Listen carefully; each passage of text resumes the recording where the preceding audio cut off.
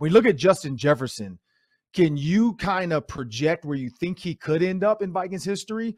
Or do you are you one of the guys that said, you know, we got to wait and see? If he fulfills his potential, if he's able to avoid injuries, if he's able to stay with the Vikings, because that's part of it too.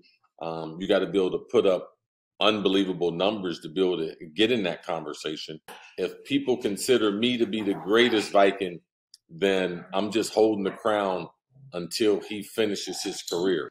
Wide receivers, there's a number of categories, but if there were four or five categories, when you look at him in those four or five categories that the receivers got to do releases, catching the ball, running with the football, what he does in in game, how he performs, those things.